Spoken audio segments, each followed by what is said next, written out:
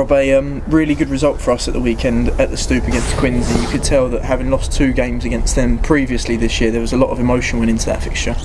Yeah, you know, we uh, obviously being being rivals at the minute with uh, with Quins, we uh, we know we had to win. We didn't perform as well as we could have done in the previous fixtures against them, so you know, it was good, especially you know away from home to, to go down there and get the result.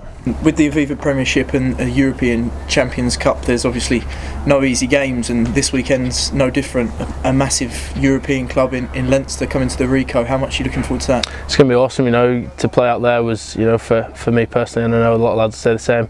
You know, great sort of uh, part of your career to go out to, to Dublin and play in front of that crowd and you know to bring them to the Ricoh now and obviously with the ticket sales going as well as they are you know it's really going to be a big atmosphere on uh, on Saturday. You must have um, watched on with interest last season as we battered it out in France to qualify for this top competition in Europe.